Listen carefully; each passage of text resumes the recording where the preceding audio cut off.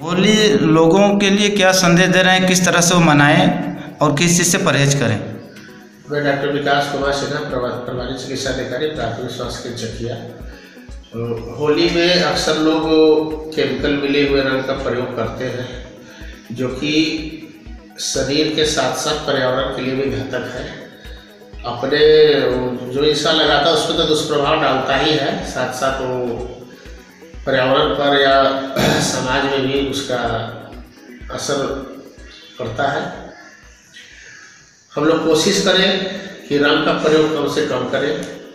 उसके जगह पर आजकल प्रचलन में खादी ग्रामों की तरफ़ से, अन्य सरकारी संस्थाओं की तरफ़ से तो हर्बल अबीर का उपयोग हो रहा है और मार्केट में बहुत कम ही मूल्य पे भी उपलब्ध है। तो रंग की जगह मेरा ये लोगों से अपील रहेगा, ये सलाह रहेगा। कि गुलाल का लोग उपयोग करें। और पारस्परिक सद्भाव आपसी मेलजोल प्रेम से भाईचारे से है।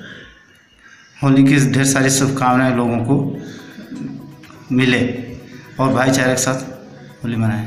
हाँ, होली की ढेर सारी शुभकामनाएँ हमारे तरफ़ से सभी लोगों को पूरे देशवासियों को पूरे क्षेत्र के लोगों को सारे लोगों को। प्रताप सिंह डॉक्टर वीरेंद्र प्रताप हॉस्पिटल चकिया से। आप सबको होली की हार्दिक शुभकामनाएँ।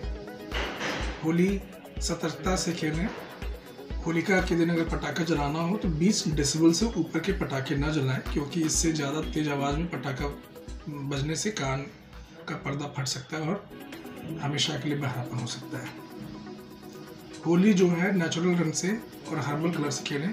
केमिकल कलर का इस्तेमाल ना करें, इससे चमड़ी खराब हो सकती है।